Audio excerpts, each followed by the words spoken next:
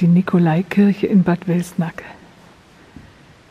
Am 2. Januar 2016 mit ihrer Krippenausstellung.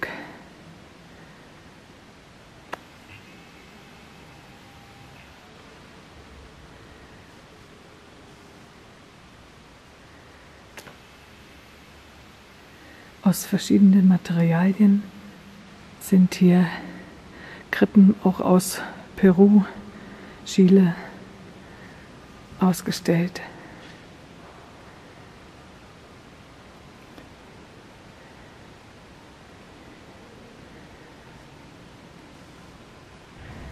Fünf Grad in der Kirche.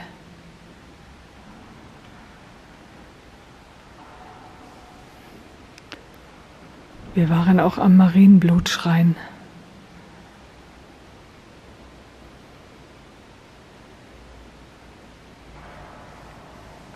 Da ging es da hinein.